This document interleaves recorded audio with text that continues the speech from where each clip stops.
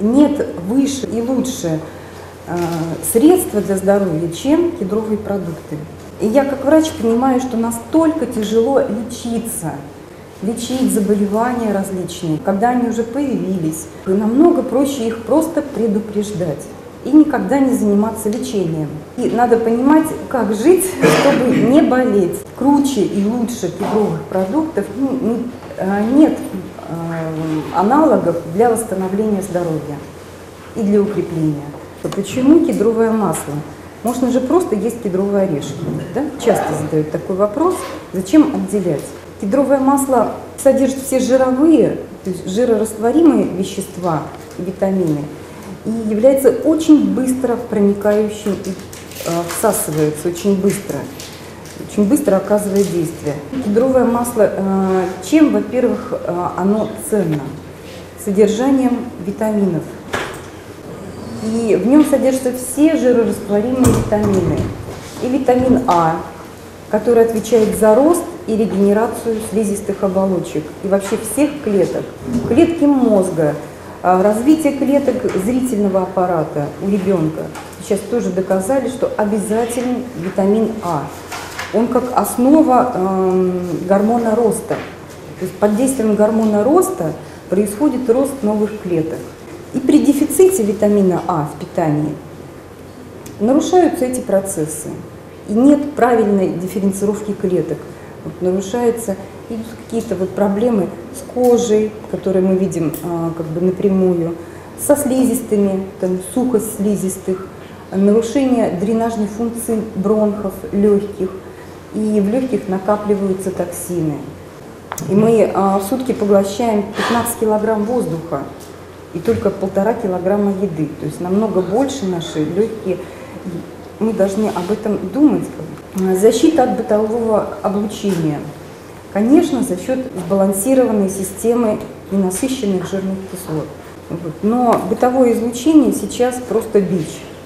Ну, вы представляете, компьютеры и все виды излучения, которые несет монитор, они воздействуют на наши клетки, на процесс деления клеток и вызывают как бы окислительные процессы и разрушаются наши клетки, и в основном, и а, в первую очередь головного мозга. Ночью у нас период восстановления, и ночью вот эти витамины все, которые мы принимали, например, в течение дня, если кедровое масло принимали, то ночью они работают на восстановление. И мы можем опять восстановиться, готовы опять садиться к этому облучению. Кедровое масло лидирующее из всех масел по а, защите и восстановлению клеток головного мозга потому что э, в составе кедрового масла есть очень редкие жиры, сфинголипиды и церебразиды, которые не встречаются в растительных жирах вообще, в принципе, и в других орехах. И они как раз идут на восстановление нервных клеток, именно головного мозга, нервных волокон и органа зрения. Сфинголипиды и церебразиды единственные из растительных жиров, которые присутствуют и только в кедровом масле чем оно ценно. Понимаете, вкус кедрового масла совсем другой. Вы не найдете такого масла с таким приятным, это не персиковое, нельзя с оливковым сравнить, ни с льняным маслом, ни с подсолнечным, а это кедровое. Почему наш организм готов вот так вот пить флакончиками? Объясните. Вот это все складывается из тех вот суммарных веществ, в котором а, оно богато. Вот это вот. И эти жиры, они ну, как бы дополнительную роль играют. Основную роль а, в свойствах кедрового масла играет редчайшая пеноленовая кислота. Сколько нужно выпить масла, чтобы... Сколько выпить масла? Ну, чайная ложечка. Имейте в виду, что любой жир желчегонит. Больше нормы выпейте масла, если столовую ложку, а то и больше, вы себя прожелчегоните. Вспомните чистки печени маслом, да? А, ну там еще больше масла выпивается, но а, всегда мы усиливаем поток желчи. Кедровое масло очень благотворно влияет при панкреатите, очень хорошо. И я расскажу за счет чего. Во-первых, вот эта фантастическая пеноленовая кислота, вот содержание всех ненасыщенных жирных кислот а, в кедровом масле. И вот пеноленовая кислота 21%. Кстати, вот это самое а, как, гармонично сбалансированное масло из всех видов других растительных масел. Кукурузное, подсолнечное, везде перекос какой-то одной жирной кислоты. Здесь вы видите настолько в гармоничном соотношении, вот внизу линолевая еще. Она очень важна как строительный элемент. Олеиновая – это то, что у нас в оливковом масле. Но в оливковом масле вот этой олеиновой 80%. Понимаете, то есть оливковое масло из одной вот этой состоит практически, подсолнечное, кукурузное масло из одной вот этой, и горчичной, все остальные масла. Вот. Пиноленовой нет вообще нигде. Это как бы сосновая практически, пинос, вот эта вот сосна, она тоже относится к омега-3 жирным кислотам. Она действует точно так же, как рыбий жир, как истинная омега-3. Чем э, меньше контактируют вот эти омега-3 с кислородом, с воздухом, чем меньше э, свет на них падает, тем лучше они сохраняются, как будто как в орешке. И мне здесь понравилось, что на производстве я увидела разливаются очень быстро, маленькими а, емкостями и сразу по флакончикам, то есть не какую-то бутыль, она постояла там день или полдня. Вот. Очень короткий а, процесс вот этот вот контакта с кислородом, то есть кислород окислитель. И самое главное, вот что делать может пеноленовая кислота, вот эта волшебная, а, жирная кислота, волшебный жир – за счет которого, а, я считаю, вот все действие кедрового масла и проявляется. Она способна заживлять а, любые эпителиальные дефекты, ожоги. Она на первом месте как противоожоговая для восстановления тканей. И поэтому у нас кедровый крем идет номер один для кожи. И так быстро восстанавливаются там и, и для ног крем, и э, синяки. вот, она э, способна в общем, вызывать вот такую восстановительную реакцию.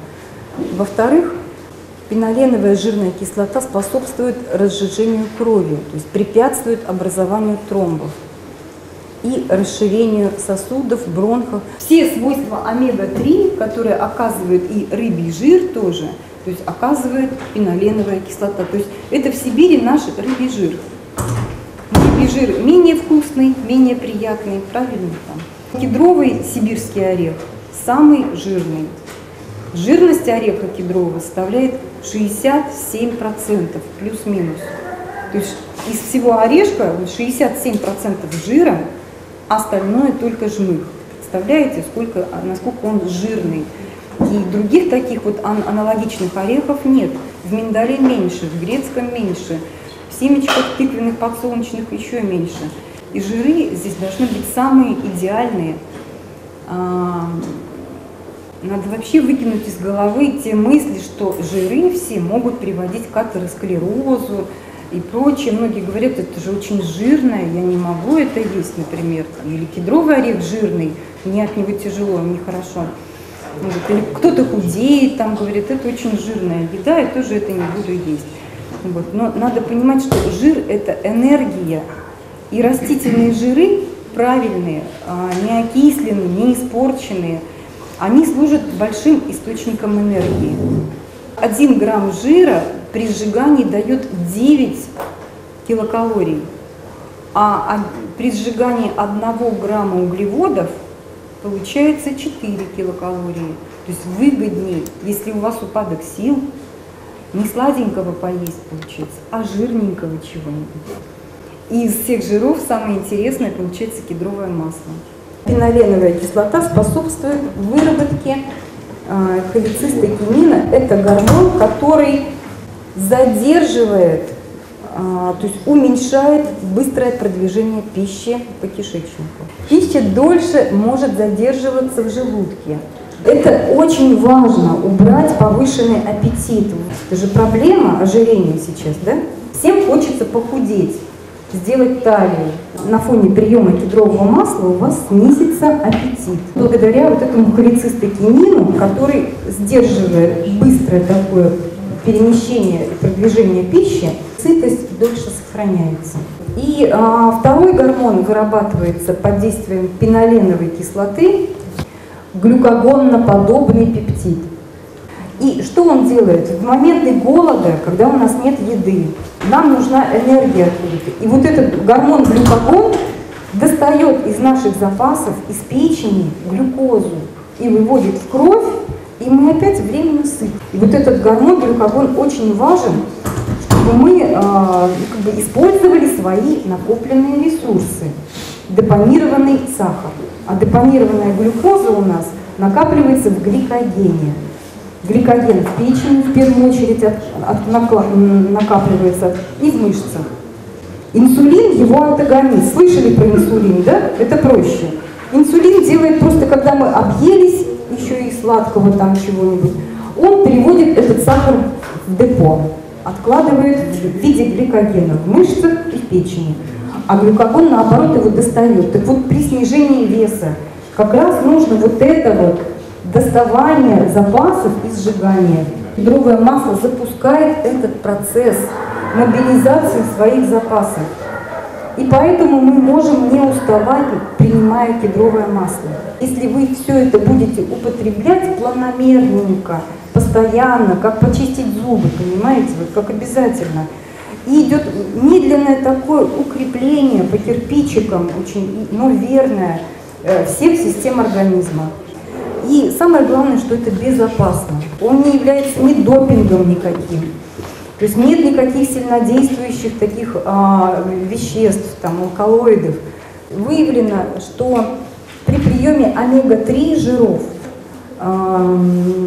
происходит защита на 95% человек защищается от повторного инфаркта миокарда.